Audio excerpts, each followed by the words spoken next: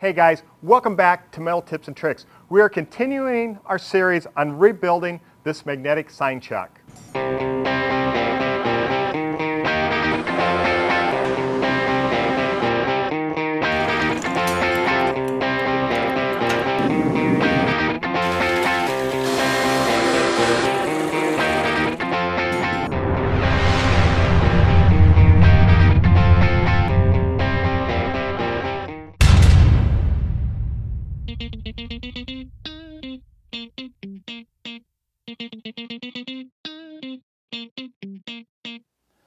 We're going to take this raw stock now and make that new part. We're going to start out with a square or rectangular piece of stock. The challenge is how do you chuck it in the lathe and get it centered? Well, that's what I'm going to show you today.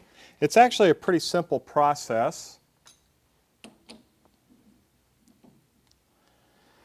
To get it lined up, we're actually, we've already punched a center in here, and we're going to use our tail stock. The challenge now is getting it so it's flat against the chuck. Here's a cool little trick. If you guys haven't seen it yet, is you go in with a set of parallels. Give you enough surface to tap your material flat.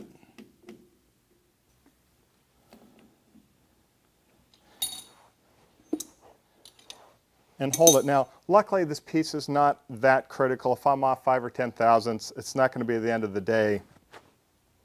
Now we want to bring in our tailstock we can see that it's off. This side needs to come over.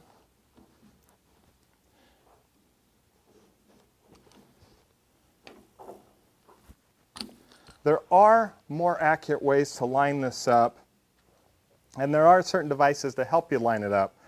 But at the end of the day, we're not working with that critical a part, so I'm not going to take up the time to do that.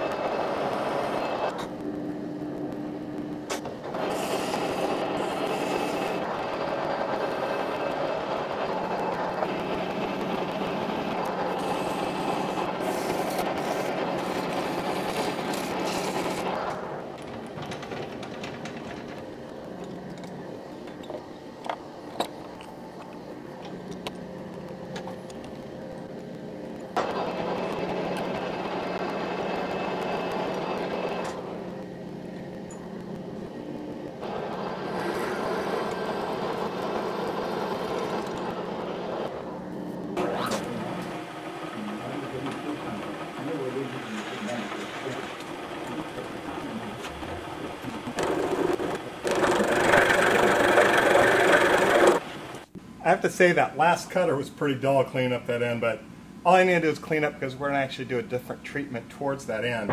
Now what we need to do is cut this slot. So we're going to mill off the top of this, find the center, and then mill that down, and that slot's going to be for the handle.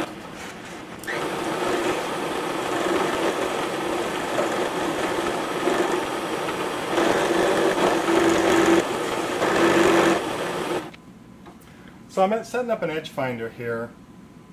And I'm going to do something I don't do very often on my uh, YouTube channel, and that is I'm going to use the DRO. Now it's funny how many times I do a project and don't use the DRO and how many people kind of, well they send me little notes and tell me I should have used my DRO and well remember the purpose of this channel, Metal Tips and Tricks, is to do things in its simplest fashion. In other words, not everybody has a DRO, so I'm not going to use my DRO every time for videos because it doesn't serve a lot of a lot of you viewers.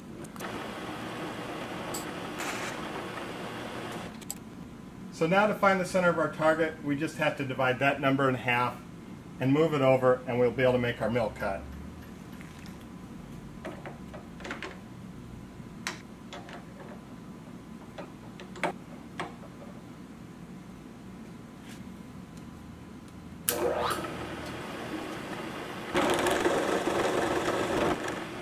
There are two ways to actually make this slide. Well, there's several different ways. But with an end mill, I can cut through like I did there, or I can do plunge cuts.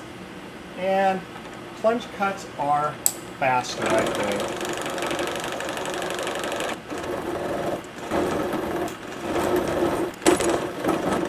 I think I want to plunge down further.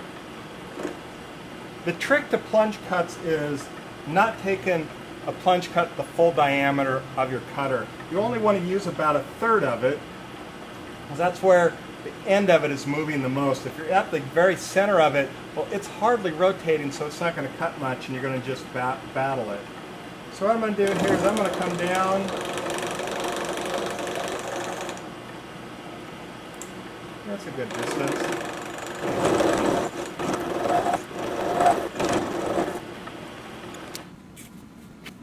Next, we're going to widen this out to where it's a half inch wide. We're going to make the handle half inch wide. It doesn't have to be a super tight fit, but we do want to make it, you know, give it within 5 thousandths. Let's take a measurement of what the overall... So that's a 3 8 inch cutter. We probably need to move it over about a 16th of an inch. 16th of an inch is 0.0625. We're going to recenter this. All right.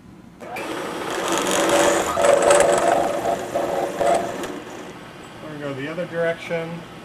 Same thing, but it'll be positive 0625.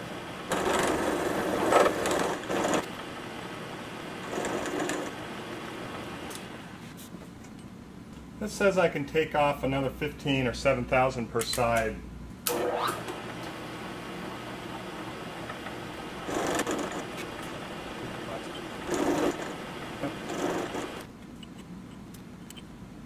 Our next step is we're going to drill the pivot hole through here and get that set up.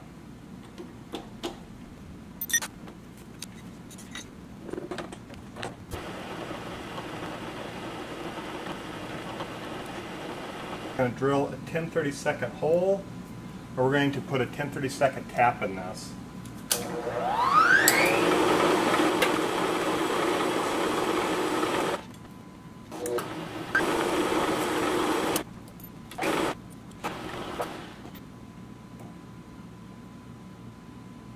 So now we need to cut this radius here.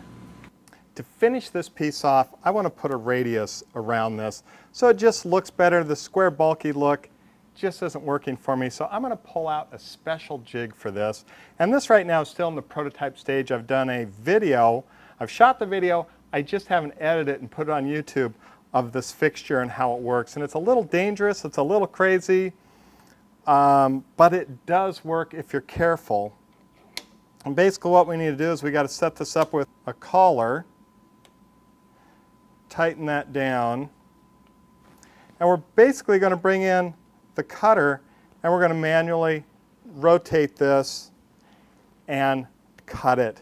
Now the reason of the collar is, see this spiral is helical flutes on this? It actually wants to take your piece and pull it up. So you have to put a collar on here to tighten it down to keep it stable. Let me show you how this works.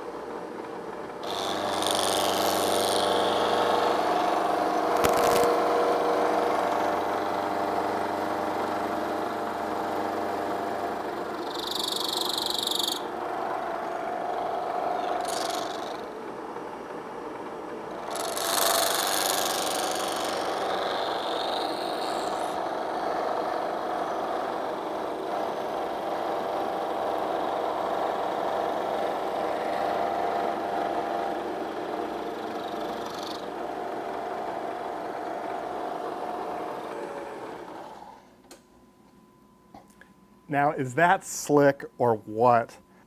Fast, easy, it's got a good radius on it. Now, I know there's going to be some troll out, trolls out there saying, well, that's not an accurate way of doing it. Guys, it's not about accuracy, it's about quickness and efficiency. And actually, it probably is pretty accurate the way I've done it. You know, your inaccuracy comes with how uh, this fits on the pin, and you also have different size pins for the different size holes that you have. But that's it. Now I've got of course a little shoulder on here and I plan to actually take this to the surface grinder and clean that up by hand.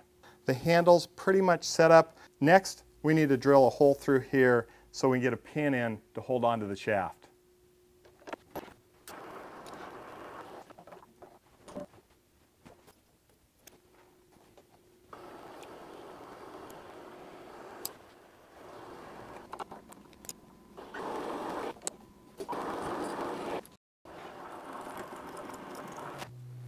I gotta say I was pretty lucky that when I drilled through that it went all the way through and didn't bind up and didn't break the drill bit.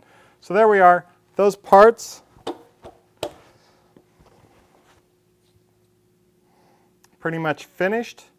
To have to do some just you know detail work, clean them up a little bit, and cut this arm off. That's not a big deal.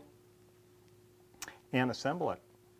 I hope you guys have enjoyed this last video. There's still a lot more to come. We've got some very cool milling work to do on this, some unique lathe techniques, measuring techniques. As you can see in that first video, there's a lot of stuff that has to be done to this magnetic sine chuck to get it back into shape.